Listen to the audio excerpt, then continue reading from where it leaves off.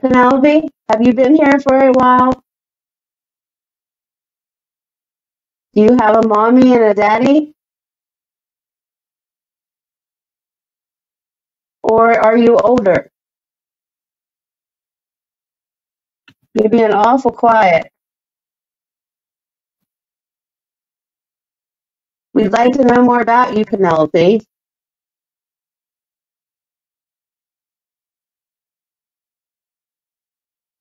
I'm hearing footsteps down the hallway.